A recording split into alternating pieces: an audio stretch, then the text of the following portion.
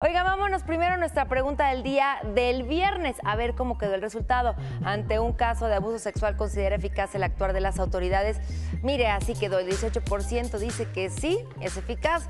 82% dice que no. Ahí está apareciendo el QR para que lo escaneen y de esa manera pueden participar en la pregunta, porque me, me, decían el otro día, es que ya no está en Twitter. Bueno, en Twitter ponemos este clip donde está la pregunta y pueden comentarlo, pero también con este QR que está apareciendo aquí, los manda directo a nuestro canal de YouTube donde pueden participar. Y vamos a ver los, los comentarios que hizo nuestra comunidad. Mire, justo dice, la autoridad no le interesa terminar con la injusticia, solo en los casos que se hacen públicos actúa rápido y en ocasiones injustamente.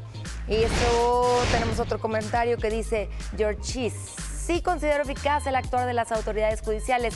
Si no se detienen al infractor de inmediato, eso desencadena una serie de irregularidades que perjudican tanto a mujeres como a menores de edad. Gracias, gracias a los que han participado y hoy nuevamente a través de este QR, pues los invito a participar.